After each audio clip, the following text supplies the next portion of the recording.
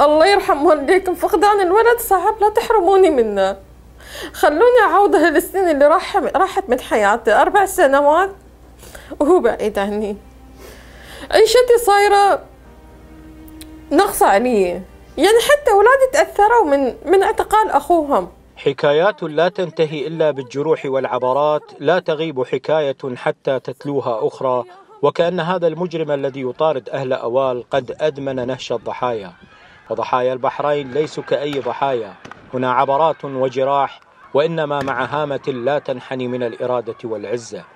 الياس الملا الذي يزحف إليه الورم السرطاني هو نموذج لأولئك الذين لا يبيعون عزتهم وهو نموذج يذكرنا أيضا بالأمهات الصامدات اللواتي يكملن أصل الحكاية وخواتيمها. 2015 تم استهدافه هو ومجموعة من الشباب عندما رك ركل ركل الأرجل على بطن الياس وهو في حالة تشنج مما أدى إلى إصابته بالورم السرطاني.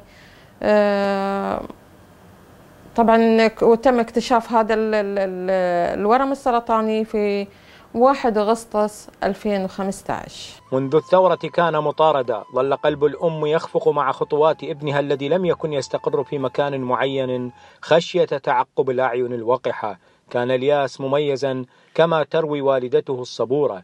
فيه حنان يتسع لكل الأخيار ولكنه أيضا قوي لا يعرف الهزيمة ولديه إرادة أن يهزأ بالسجن وبالسجان وبهذا الورم الخبيث الذي تسبب به تعرضه للتعذيب.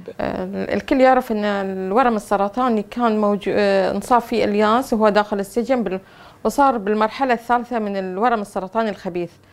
وفي هالفترة الدكتور المختص المعالج للياس متخوف أن المرض رجع مرة ثانية بسبب الأعراض المستمرة وبزيادة.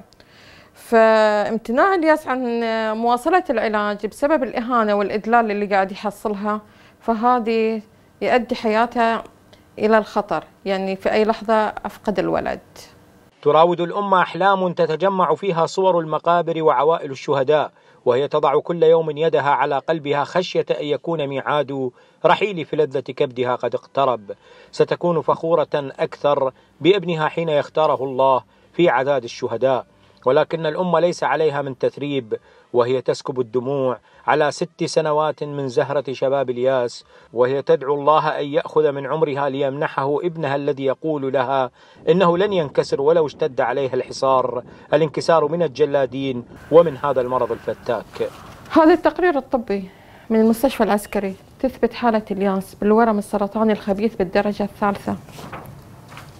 وهذا التقرير الطبي من السلمانية تثبت نفس التقرير الأولي. أما باقي التقارير الثانية ممنوع منعا باتا أن أستلمهم. ليش؟ لأن دخل الياس في مرحلة الخطر. علشان كذي رافضين أن يسلموني أي تقرير ثاني. طبعا هاي التقارير بصعوبة قدرت أستلمهم من المستشفى. فأتمنى أن يتم الإفراج عنه وعوضه عن الأيام والسنين اللي راحت من حياته وأقوم بواجباته.